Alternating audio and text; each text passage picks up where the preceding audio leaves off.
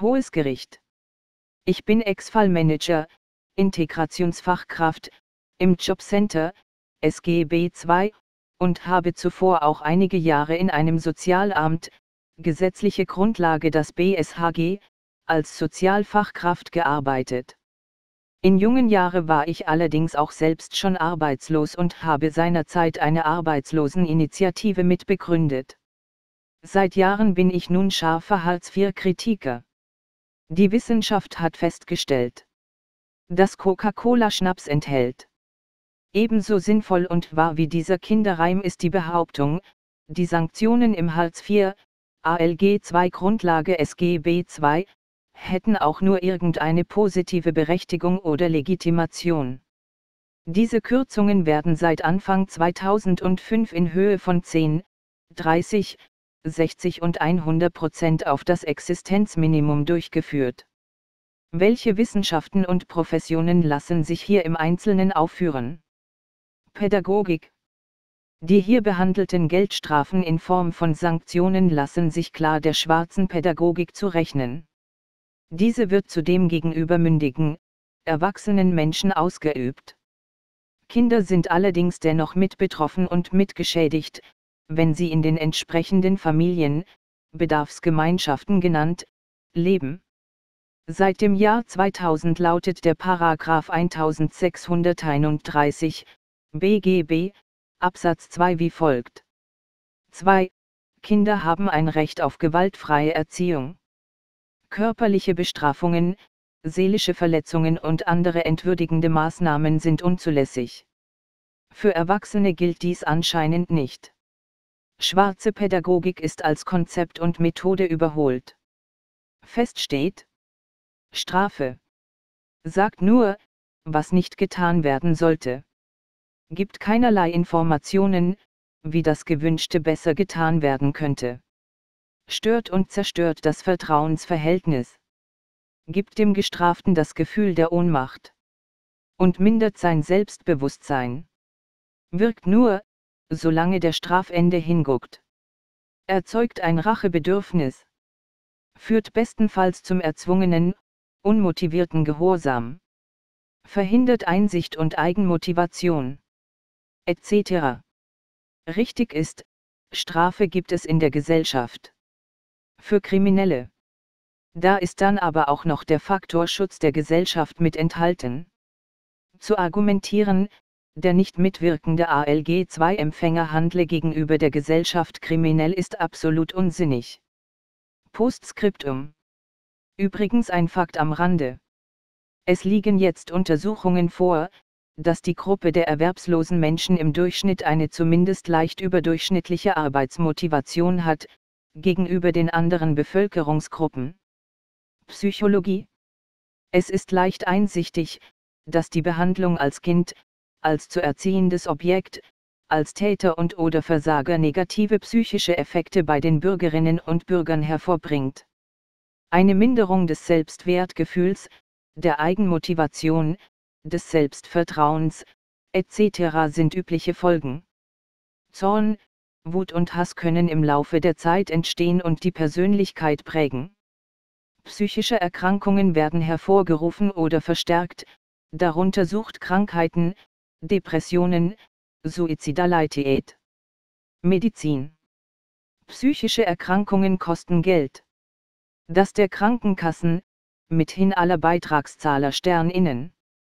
Ebenso ist es auch bei körperlichen Erkrankungen, die oft hiermit verzahnt sind.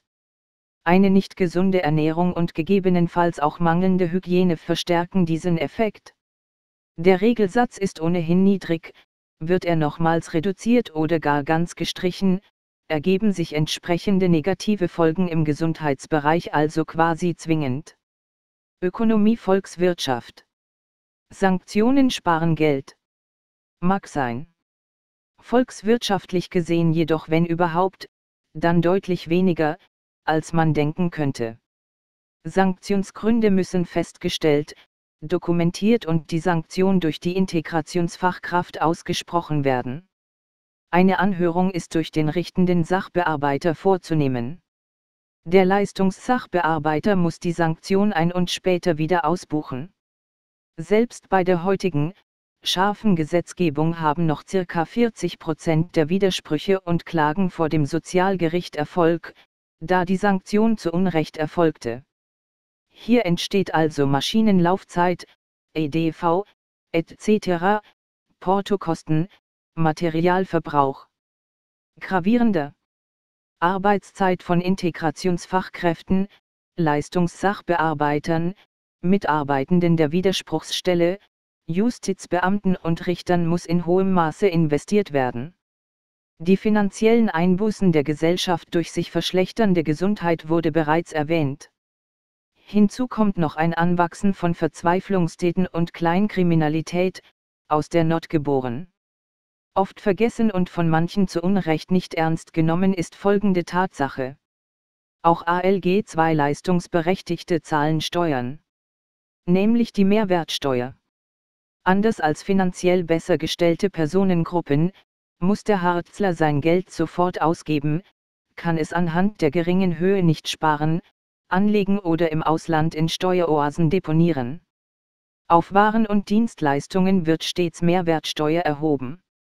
Geld, das also augenblicklich zurückfließt in diverse staatliche Kassen. Bei Kürzungen oder Streichungen des ALG 2 entsprechend weniger, bis hin zu Null. Sanktionen verringern demzufolge auch die Binnennachfrage. Die ALG 2 Sanktionen produzieren auch Obdachlose. Diese gelten in Einkaufsstraßen und an ähnlichen Orten als nicht kaufmotivierend. Zudem haben diese ein Anrecht auf ein geringes, tägliches Durchwanderergeld, wenn sie es schaffen persönlich vorzusprechen. Speziell im Winter, sind sie des Nachts zu beherbergen, oder in Notunterkünfte einzuweisen. Auch dies sind Kostenfaktoren. Untersuchungen zeigen, dass Sanktionen selten, und wenn dann nur sehr kurzfristige Wirkungen in Richtung Arbeitsaufnahme zeitigen.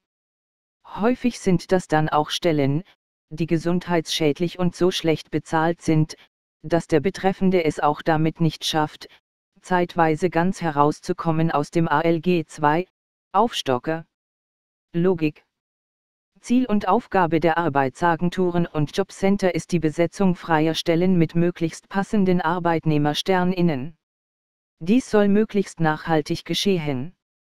Es steht außer Zweifel, dass aus eigenem Antrieb motivierte Menschen wesentlich besser, zuverlässiger und nachhaltiger diesen Zweck erfüllen können und auch wirklich erfüllen. Bei Menschen, die körperlich, geistig und seelisch in der Lage dazu sind, können aktuelle fachspezifische Qualifikationsmaßnahmen zum Erfolg beitragen. Diese müssen aber passgenau sein und die Betreffenden sollten auch hierbei von sich aus motiviert sein teilzunehmen. Zwang und Sanktionen stellen exakt das Gegenteil dessen dar. Sehr wichtig in diesem Zusammenhang, das Verhältnis der offenen Stellen zu den verfügbaren Erwerbslosen. Denn dieses schwankt seit etlichen Jahren zwischen 1 zu 5 bis maximal 1 zu 3. Dies sind übrigens die offiziellen, bereits schön gerechneten Zahlen der BA selbstständig. Gibt es offene Stellen, die nicht gemeldet wurden? Ja. Aber es gibt auch solche, die mehrfach gemeldet werden, gern zum Beispiel von Zeitarbeitsfirmen. Und, es gibt auch verfügbare Erwerbslose, die aus Unkenntnis, Unvermögen oder Scham kein ALG 2 beantragt haben. Und dennoch Arbeit suchen. Sehr negative Schätzungen hinsichtlich des Anteils ernsthaft unwilliger und fauler Erwerbsloser liegen bei ca. 15% der ALG 2 Berechtigten. Es ist festzustellen, dass selbst dieser Prozentsatz nicht ausreicht. Wünschenswert wäre ein viel höherer. Wenn für jede offene Stelle vier verfügbare Erwerbslose bereitstehen, ist es ein zwingendes Gebot der Logik, sich auf eben die zu konzentrieren, die offenkundig motiviert sind, diese zu bestärken und gegebenenfalls ergänzend zu qualifizieren. Nicht logisch ist es aber, sich den möglicherweise oder offenkundig nicht motivierten Personen mit Strafen und Sanktionen zu nähern. Es gibt schlicht nicht mehr genug gesellschaftlich als solche definierte Arbeit für jeden. Das muss akzeptiert und im praktischen Handeln berücksichtigt werden. Verwaltungswissenschaft Verwaltung soll das jeweils vorgegebene Ziel möglichst effektiv effizient und korrekt erfüllen. Wie vor dem Gesetz, sind auch vor der Verwaltung alle Menschen gleich an Rechten und Pflichten. Entscheidungen haben sich auf Gesetze und Verwaltungsanordnungen zu stützen, auf nichts sonstige. Nur? Ist das so? Können Sie das in diesen Fällen überhaupt? Jemand ist durch Sanktionen zu strafen, wenn er nicht mitwirken will. Aber, wie prüft man Willen? Gar nicht. Das ist nicht annähernd zuverlässig möglich. Sagen muss jeder, dass er mitwirken will. Die Ehrlichkeit dessen ist aber nicht beweisbar. Wie denn auch? Wirklich bestraft werden nur die etwas dummen, oder die in akuten Krisen. Die machen dann schon mal Fehler, die einen aus Unvermögen, die anderen letztlich ebenso unverschuldet. Clevere Betrüger gibt es. Obwohl maximal 416 Euro minus Stromkosten ja eigentlich nicht wirklich einen großen Aufwand lohnen. Diese Menschen gibt es in jedem Sozialsystem. Dafür brauchten wir kein neues, welches in der Tat alle drangsaliert, gängelt und unwürdig behandelt. Ein Cleverer wird nie zu spät zu einer Vorstellung kommen. Aber ganz knapp in der Zeit. Er wird eher desinteressiert schauen. Seine erste eigene Frage wird nach dem Gehalt sein.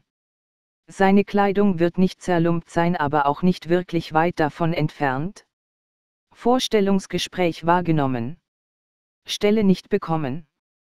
Keine Sanktion. Ich denke, es ist klar, was gemeint ist. Noch einmal, das können wir mit dem SGB II den Sanktionen nicht verhindern. Das konnten wir vorher mit dem BSHG nicht verhindern. Könnte man das überhaupt? Vielleicht. Aber der Preis wäre viel zu hoch. Arbeitslager und Co. lassen grüßen. Heil irgendwer? Wir kennen das. Möchte das jemand? Wollen und Können eines anderen Menschen das ist für einen wirklichen und gut qualifizierten Fallmanager wie mich halbwegs, sicher zu unterscheiden. Nach etlicher Zeit und so einigen Gesprächen. Versprochen waren uns 2004 circa 75 zu beratende Menschen. So war es auch konzipiert und strukturiert. Aufgehört habe ich mit 436 Kunden. Gut, manche Kollegsterninnen haben ja auch nur 300 Kunden oder ähnlich. Aber, qualifizierte Jobcenter-Mitarbeiter-Sterninnen gibt es immer weniger. Berufsanfänger, solche mit Zeitverträgen, Quereinsteiger, Halbtagsbeschäftigte mit vager Aussicht auf Vollzeit, und ähnliche. Und es zählt vor Ort, die Statistik. Nichts sonstige. Gar nichts. Und noch ein Satz, nicht wollen schließt nicht können nicht aus. Nur auf letzteres kommt es aber an. BA und Jobcenter sind keine moralischen Anstalten, Gesinnungen und Meinungen können und dürfen nicht mit empfindlichen Geldstrafen belegt werden. Heißt, wenn ich für jemanden, der vor mir steht, kein Angebot habe, das er auch ausführen kann, ist es völlig egal, ob er mir ins Gesicht sagt, er wolle dieses und jenes ja auch gar nicht. Ich hoffe, das war jetzt nicht zu kompliziert. Es hat, wie gesagt, mit Regeln, Recht und Gesetz zu tun. Ethik Moral. Der ALG-2-Regelsatz ist sehr knapp bemessen. Dass er zum Nachteil der Menschen nicht korrekt berechnet wurde, konstatieren nicht wenige Fachorganisationen. Dieser Regelsatz wurde gesetzlich als Existenzminimum definiert. Es widerspricht jeglicher Ethik und Moral, dieses Minimum durch einfache Sachbearbeiter Sterninnen um 10 bis 100 Prozent kürzen zu lassen. Dies möglich zu machen, zu dulden und anzuordnen, ist ein vorsätzlich unethisches und unmoralisches Verhalten. Nichts sonstige. Am 1. Januar 2005 gab es keine graduelle Variation oder Verschärfung der Gesetzgebung in Hinsicht auf ALG ALHSH. Das SGB II war ein kompletter Paradigmenwechsel. Der Sozialstaat wurde in dem Punkt de facto abgeschafft. Es werden hier sehr tiefe Ebenen berührt. Das Menschenbild. Ist es ethisch vertretbar, Menschen in Element eher Not Hilfe zu verweigern, wenn sie einem nicht willfährig sind? ist es in Ordnung und moralisch zulässig, an einem Minimum gravierende Abstriche zu machen, bei nicht bewiesenem und nicht strikt belegtem Wohlverhalten. Akteur ist hier der Staat. Also der Diener der Bevölkerung. Wie sieht es da mit seiner Fürsorgepflicht aus? Wie sieht es mit dem Vertrag zwischen ihm und den Bürgersterninnen aus? Wird dieser durch solch ein Handeln nicht unterminiert, beschädigt, geschändet? Rechtswissenschaft Juri SPRUDNs die Verfassungsmäßigkeit der Hartz-IV-Sanktionen wird seit Jahren von Betroffenen und Fachorganisationen angezweifelt. Eine Verfassungsklage ist jedoch wesentlich schwieriger und vor allem langwieriger, als man sich vorstellt. Es gibt mittlerweile nun diesen zweiten ernsthaften Versuch, so weit vorzudringen. Eine gute und humane Entscheidung wird erhofft. Jobcenter stellen in Deutschland in gewisser Weise eine Sonderrechtszone dar. Etwas, das es eigentlich nicht geben dürfte. Der einfache Sachbearbeiter ist Ankläger, Richter und Vollstrecker in einem. Geldstrafen aber darf eigentlich nur ein Gericht aussprechen. Zudem sind diese Geldstrafen hier nicht selten existenzgefährdend. Selbst bei der heutigen, scharfen Gesetzgebung, haben noch circa 40 Prozent der Widersprüche und Klagen vor dem Sozialgericht Erfolg. Falls es nicht klar ist, was das wirklich heißt, in fast der Hälfte der Fälle wurden Fehler gemacht, wurden Kundenleistungen vorenthalten, Recht falsch angewandt, Sanktionen zu Unrecht verhängt. Wer in Arbeit steht, sollte sich einmal fragen, kann ich mir dort eine Fehlerquote von 40% erlauben? Und hier geht es um die Schicksale von Menschen. Um ihr Überleben zum Teil. Ist dies alles recht? Entspricht dies alles dem Geist des Grundgesetzes, dem Geist der Sozialgesetzgebung? Nein. Das tut es nicht.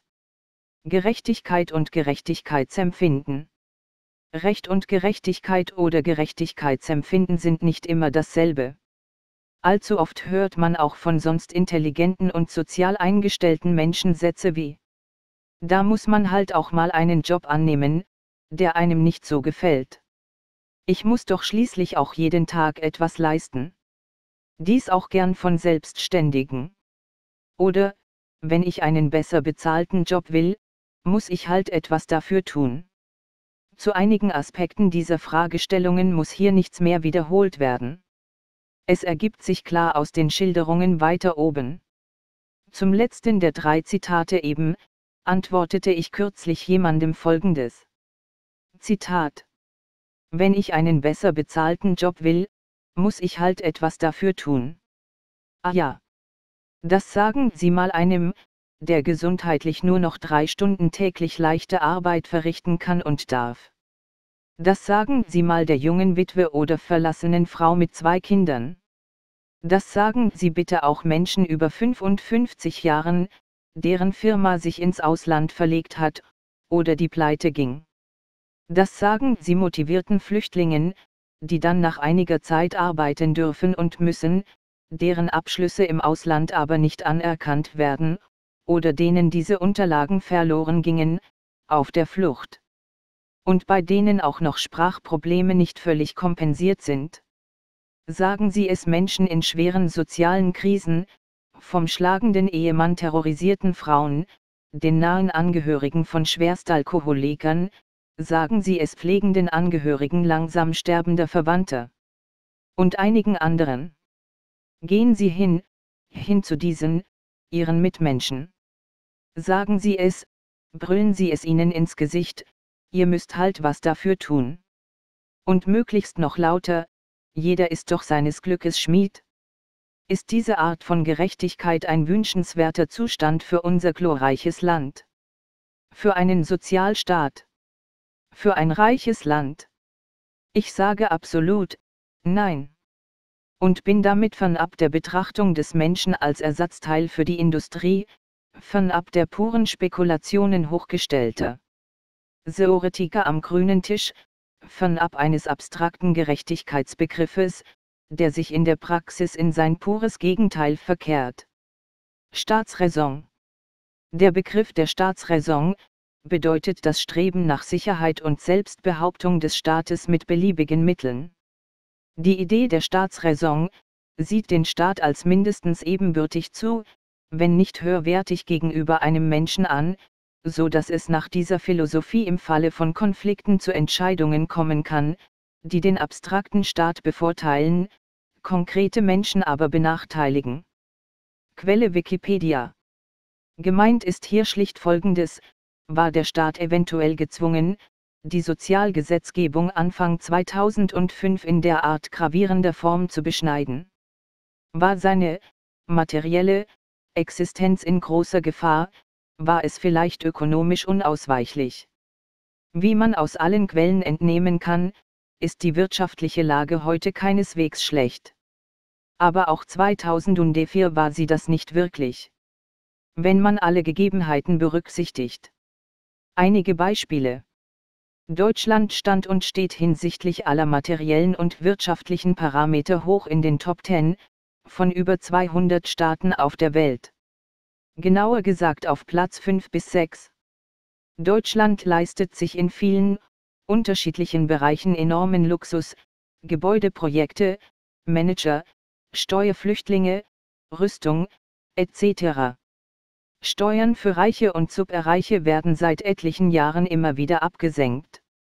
Der Spitzensteuersatz sank in den Jahren seit Helmut Kohl ebenso immer weiter ab speziell in den Jobcentern. Werden Unsummen in groteske, praxisferne EDV- und Controlling-Systeme investiert und hiermit schier aberwitzige Dokumentationspflichten für die Mitarbeiter SternInnen verknüpft. Wird willfährig den Ansprüchen der Maßnahmeträgerlobby nachgegeben? Werden auch reine Mitnahmeprämien bei Einstellungen für Firmen als geeignetes Instrument der Hilfe angesehen und verordnet? Die Liste ist leider fortführbar. Hartz IV muss weg. Nieder mit den Sanktionen. Anhang. Exkurs zu den Sanktionsgründen. Es sind Akademiker unter den ALG 4 Leistungsberechtigten, ehemals erfolgreiche Selbstständige, Menschen mit Meisterbrief, Menschen mit Jahrzehnten Berufserfahrung, Menschen, die unverschuldet nie eine objektive Chance hatten, viele soziale, engagierte Menschen mit hohem Anstand und oder hoher Kreativität. Schicksalsschläge, Firma pleite, Firma ins Ausland verlegt. Zu alt, zu krank. Abgeschrieben, weggeworfen. Bei keineswegs wenigen Fällen liegt es aber leider auch völlig auf der Hand, dass diese Menschen nie mehr eine echte Chance auf dem richtigen Arbeitsmarkt haben werden. Sei es wegen Alter, Krankheit, fehlender Intelligenz, nicht vorhandener Ausbildung oder Berufserfahrung, oft auch einer Kombination aus mehreren dieser Faktoren. Auch andere Vermittlungshemmnisse können hineinspielen. Beispiel, ein älterer Herr, noch gar nicht so lange in Deutschland, motiviert aber mit noch geringen Sprachkenntnissen. Bis er soweit ist, B1, B2 oder besser spricht, ist er endgültig zu alt. Da nutzt auch die noch nicht anerkannte Qualifikation aus dem Herkunftsland nichts mehr. Drei Stunden leichte Arbeit täglich theoretisch möglich, ansonsten gibt es keine Zugangskriterien für Hartz IV. Sanktionsgründe. Einige Beispiele. Nicht erscheinen zum Gesprächstermin. Diese Termine dienen in aller Regel nur dem Nachweis der Kontaktdichte für den Sachbearbeiter. Versendet werden die Einladungen mit normaler Post. Manchmal werde bei solchen Terminen auch, meist sinnfreie, Maßnahmen angeordnet.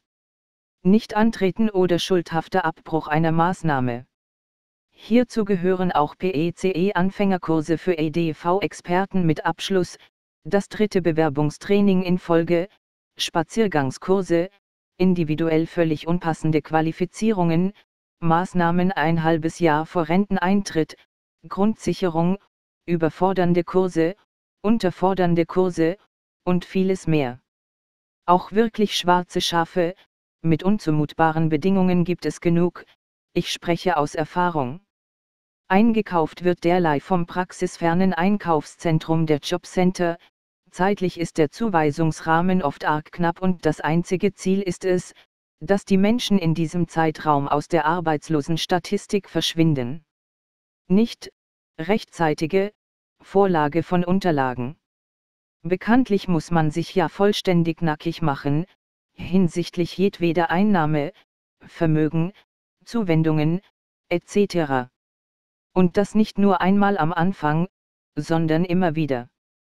Läuft da etwas schief, ich kann ja nur vorlegen, was ich auch habe, und es gibt ja auch tatsächlich Menschen, die einmal etwas verlieren Sanktion. Vorlage von zu wenigen Bewerbungen, egal wie sinnlos, egal, ob man sich im Monat vorher schon überall beworben hatte. Für die wenigen cleveren Betrüger leicht zu umgehen, Stichwort Kopierer, stellt dies für resigniert Depressive, für verzweifelt Zornige und für etwas unbedarfte Menschen oft genug ein Problem dar. Die Folge ist immer gleich, Sanktion. Unerlaubte OAW, Ortsabwesenheit. Der auf vorherigen Antrag mögliche Urlaubsanspruch für ALG 2 Leistungsberechtigte beträgt 21 Kalendertage, gesetzlicher Urlaub sonst 24 Tage. Er ist nicht übertragbar ins nächste Jahr. Sonderurlaube, zum Beispiel bei Todesfällen von Verwandten, sind nicht vorgesehen. Die Genehmigung ist im Gutdünken des Sachbearbeiters. Erklärt dieser, er habe in dem Zeitraum mit dem Betroffenen etwas vor, kann er den Antrag ablehnen. Egal wie sinnvoll das ist. Wer da also überzieht, oder vergisst die drei Tage bei Tante Elfriede zwei Orte weiter zu beantragen, Sanktion. Soweit einige Beispiele für unser glorreiches, in Wahrheit sinnlos gängelndes, unwürdiges und auch absolut nicht effektives System. Die Opfer sind zu Tätern gemacht worden. Das ist falsch, das ist frech, das ist extrem ungerecht. Muss man diese Menschen zusätzlich demütigen? Offensichtlich leider ja. Und das muss ein Ende haben. Früher, bis Ende 2004, gab es ALG 1 und ALHI. Das waren in der Tat Versicherungsleistungen. Und dann gab es noch die Sozialhilfe. Anstelle dessen trat mit Beginn 2005 das ALG II, volkstümlich, Hartz IV, auf Grundlage des neuen SGB II, welches das BSHG und das ALHI ersetzte. Waren früher individuelle Kürzungen um 25 Prozent, maximal 30 Prozent möglich, geht es heute bis zu 100 Prozent, und dies mit standardisierter Laufdauer. Theoretisch kann man dann Lebensmittelgutscheine beantragen, in geringer Höhe, ja. Wenn nicht, vergessen, wird, einen darüber aufzuklären. Wenn man körperlich, geistig, seelisch in der Lage ist, das zu verstehen und zu tun. Mit denen man nicht alles und nicht in jedem Geschäft kaufen kann. Die BG, Bedarfsgemeinschaft, ist mit betroffen, die Diskriminierung und Stigmatisierung in der Öffentlichkeit ist unerträglich. Zu Beginn des Jahres 2005 wurde der Sozialstaat in diesem Punkt abgeschafft. Es reicht in einem reichen Land dieser Erde nicht mehr, in Not und bedürftig zu sein. Menschlichkeit und Hilfe werden nicht mehr zugesichert. Man muss auch Gehorsam zeigen. Egal wie sinnvoll die jeweiligen Anweisungen sind. Ich verbleibe mit respektvollen Grüßen. Burkhard Tumbub. Magisterartium der Erziehungswissenschaft. Nebenfächer, Psychologie und Soziologie. Diplom Sozialarbeiter, FH. Staatlich anerkannter Erzieher. Ehrenamtlicher Suchtkrankenhelfer. Ehrenamtlicher Flüchtlingshelfer. Hartz-IV-Aktivist.